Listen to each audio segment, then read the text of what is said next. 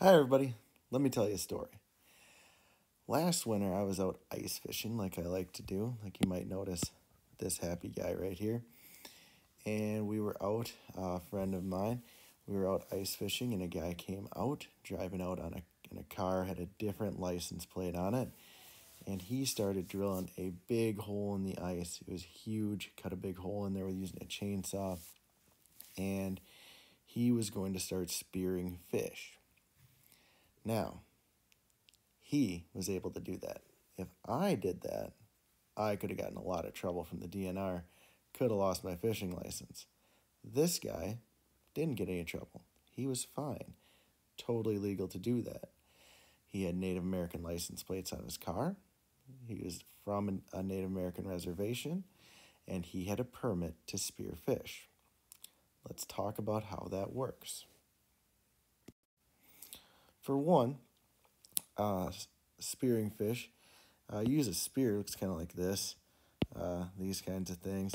Uh, sometimes you have decoys in the water, but you cut a big hole in the ice. Use a chainsaw, cut a big hole in the ice. Here they're pushing this ice chunk underneath the ice. Um, and so it's kind of a big process.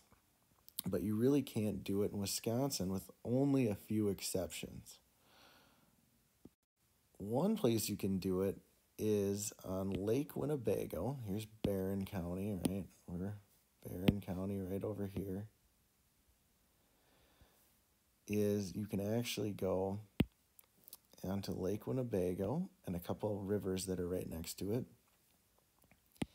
And you can spear for sturgeon for one very short season out of the year. Uh, these are huge fish. Uh, the DNR does put limits on it but it's a really cool thing. Uh, it can be a very short season. The DNR decides how many fish you can harvest, and the season could last a day. It could last three weeks. You never know uh, until you start. These fish get really big. I actually know the lady who's in this picture. This was the biggest one a few years ago.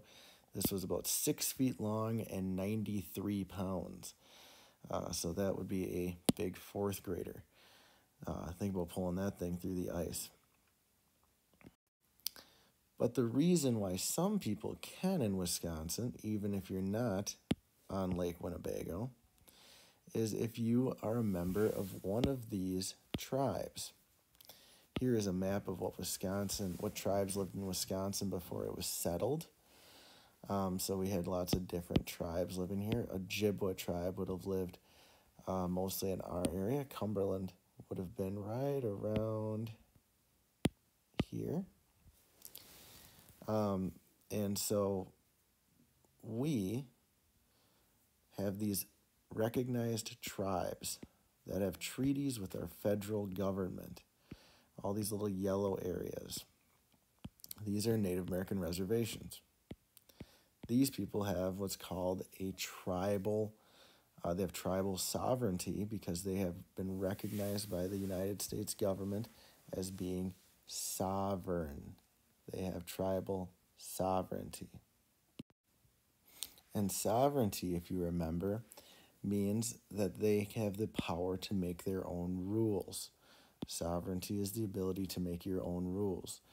And they have the ability to make their own fishing regulations, their own um, set of laws, and their own government structure, like you might have seen in the videos.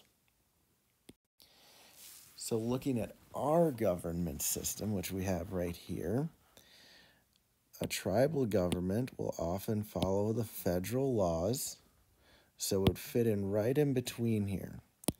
They would actually be able to not follow state laws, like fishing regulations, if they don't want to. So, a tribal government would go right here. In this level.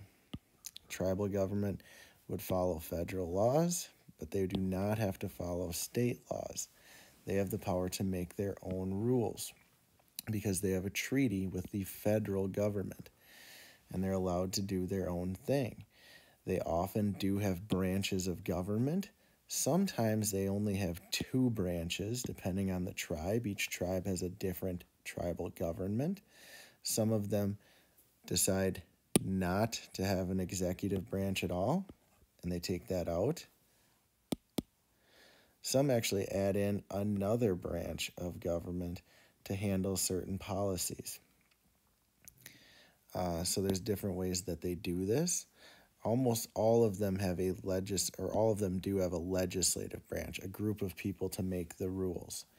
Um, some of them just use the legislative branch also to enforce them instead of having an executive branch.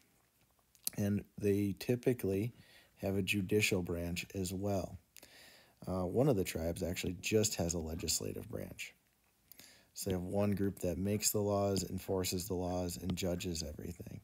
But different tribes have different sets of rules. They are allowed to do that because their treaty is with the United States government, so they do follow the Constitution of the United States, but not the state constitution. These tribes have their own constitution. Each tribe has their own constitution. They have the ability to make their own rules.